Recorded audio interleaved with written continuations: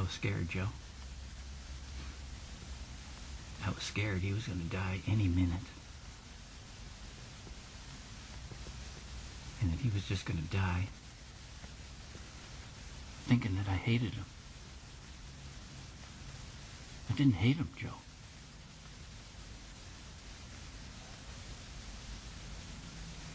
I loved him. The night she passed away, she asked me to make a promise to her.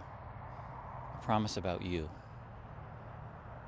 She asked me to make sure that you have a beautiful life. There's only one person that really knows, and that's me. I'm the one that has to walk around with the pain of feeling this way.